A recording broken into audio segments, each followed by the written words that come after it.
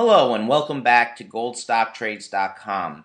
Today we have a new and special guest to our program, Peter Dickey, President, CEO, and Director of Quantum Rare Earth Developments Corporation. It's traded on the TSX Venture uh, as QRE, and it's traded on the US OTC as QREDF. Thank you, Peter, for being here with us today. Well, thanks very much for having me.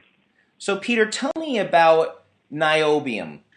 What is niobium? Why should investors look into niobium right now? Well, niobium is uh, uh, one of these sort of minor metals that uh, is largely unknown or unheard of in the in the uh, metal space, uh, primarily because it's it's mined in from a limited number of mines right now. There's a limited number of deposits in the world, and uh, it's it's largely a uh, a producer to end user market. So there's not a large uh, trading platform, should we say, for niobium. Now, having said that, it is a integral part of the steel industry in particular. Uh, it's used primarily as a steel hardener. And so it is a very large worldwide market, although, as I mentioned, it, it is a uh, largely restricted to a sort of producer to end user, so it's not in the press a lot. Mm-hmm. Mm-hmm. But it seems like niobium's uses are growing, especially with the green technologies, uh, with wind turbines, uh, and and it's. It, I saw that it was even considered a strategic metal by the U.S. as it's essential for national security and, and making in jet engines. Could you tell us about niobium's uses and, and the market for niobium going down uh, going down the next in the near term, medium term, and long term? Certainly, certainly. Niobium, primarily niobium, is produced in the form of uh, ferroniobium, which is used as a steel hardener. Now, there are competing products out there that are also used as steel hardeners that your listeners may be more familiar with. One of them is vanadium, the other is molybdenum. Now, the uh, benefits of using niobium is that it is a finer grain material, so therefore produces a harder, finer grain steel, thereby saving weight. Now, weight is a major consideration in particularly in the automotive industry, where people are trying to extend fuel economies on vehicles. And if you have a lighter vehicle, you automatically save fuel economy. In other instances, because of the finer grain nature of the steel that's produced with niobium, there are certain applications where you cannot replace it. Uh, one in particular that I, I like to point out is high pressure gas pipelines. Because of the fine grain nature and the uh, of the steel produced, um, it, it is mandatory requirement for for fine for uh, high pressure gas pipelines.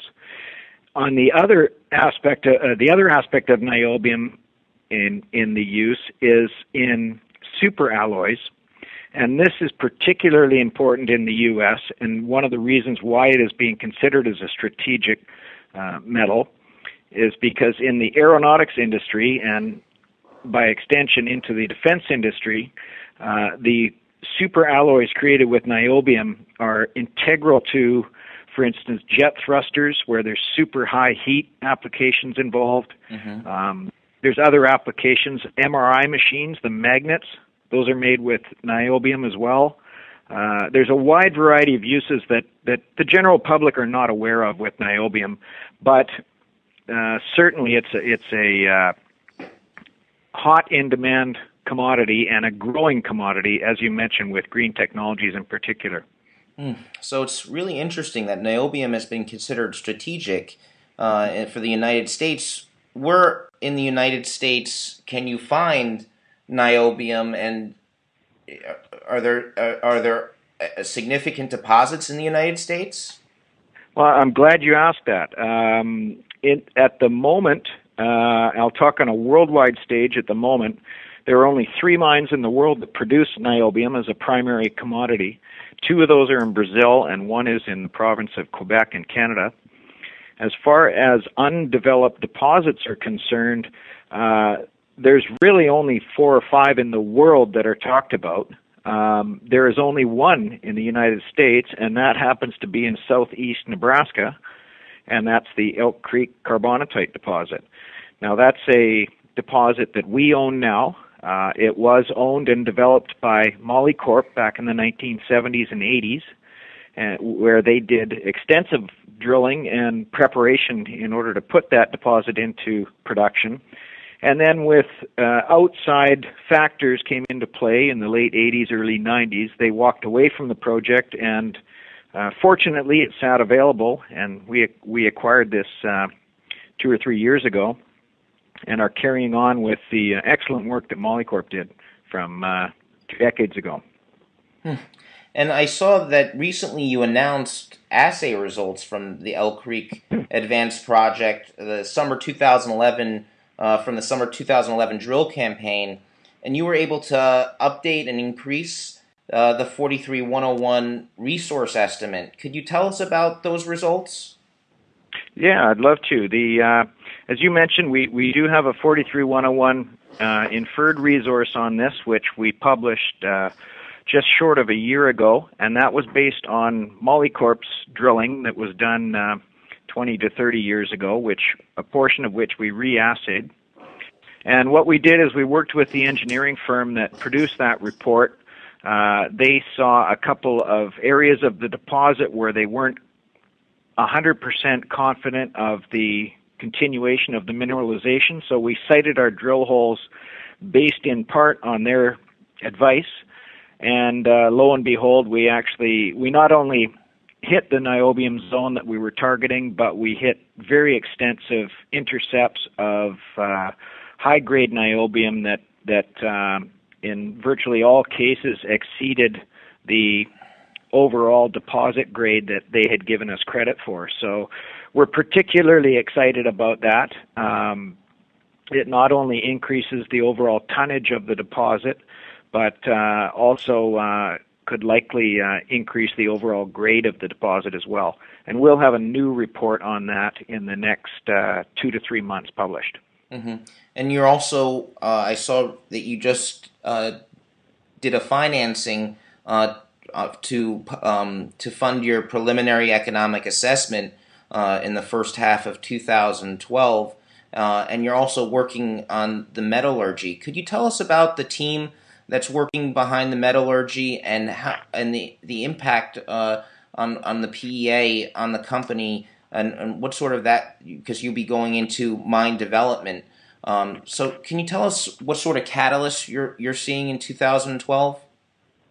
Certainly, certainly. We um, uh, those people, those of your listeners that are familiar with the uh, niobium process and niobium mining, uh, will be aware that niobium is a notoriously difficult metal to separate from a from a processing point of view. Uh, as a perfect example, the the largest, highest grade mine in the world recovers approximately 50% of the niobium in the rock that they have there. So what we did is when we looked at this deposit, we realized that that there was a lot of expertise going to be required in order to to uh, carry forth and put this this project into production. So, beginning uh, in the spring of last year, we started to uh, talk to some people, made some additions to both the board of directors and the advisory board, and those include um, a couple of uh, very seasoned uh, mining engineers, and in particular, one fellow uh, who's who's integral to the development of this who's a uh, chemical engineer. He's semi-retired, as he calls it, um, only because he's he's been at this for um, almost five decades now. Um, and uh, from a metallurgical point of view, you know, he he works extremely closely with the lab that we have working on this, and uh, you know, I believe that that with today's technologies, uh, we will certainly be able to to uh, crack the rocks, as they say, uh, and come up with a um, you know an economically viable method of of extracting the niobium there. And certainly, our preliminary results uh, indicate that we're working well towards that path. Um, and then, of course, you know, following the, the metallurgy, um, which which we'll have announced by the in the first quarter of 2012. Then we have to start looking at the overall economics of this, and as you mentioned, we are looking at producing a uh, preliminary economic assessment report. This is an external independent report prepared by an engineering firm, and essentially it takes into uh, account the uh, the new resource calculation that we will have have concluded this first quarter. It will take into account the metallurgical results, which we'll have this first quarter, and then it will also start looking at the overall market for niobium, and it will also look at uh, potential mining methods for the niobium as well. So this is sort of the first crack at the economics of the deposit uh, from an independent source. Um, obviously, prior to entering into this, uh, we've done our own internal calculations, but with regulatory processes the way they are, um, internal reports are not considered independent, so of course we can't publish those. Mm-hmm. But uh, suffice to say, um, the numbers are attractive enough that that we're uh, going through a fairly uh, expensive process of having a third party look at those numbers so that we can publish them. Well, thank you.